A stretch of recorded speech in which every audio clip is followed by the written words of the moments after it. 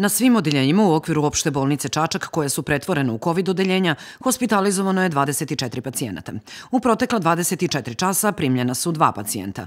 U respiratornom centru gde su hospitalizovani pacijenti sa teškom kliničkom slikom nalaze se dva pacijenta, od kojih je jedan priključen na respirator, saopštio je radni tim za praćenje širenja koronavirusa.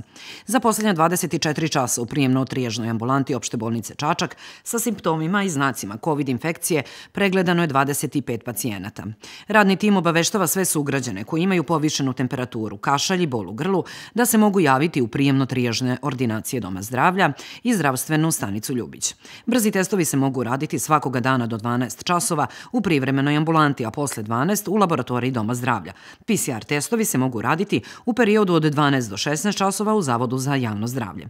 Radni tim i gradonačelnik apeluju na sugrađane da se pridržavaju svih propisanih mera u cilju sprečavanja širenja bolesti COVID-19. podcast.